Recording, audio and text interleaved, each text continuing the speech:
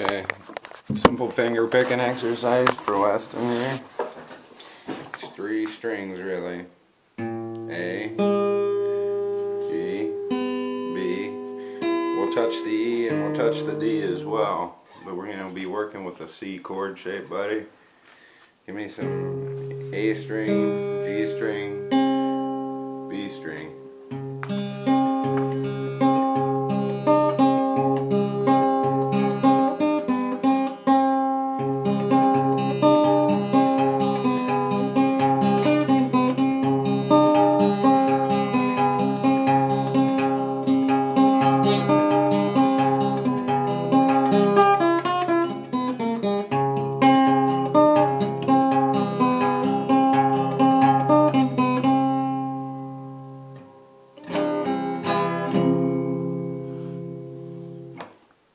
guitar.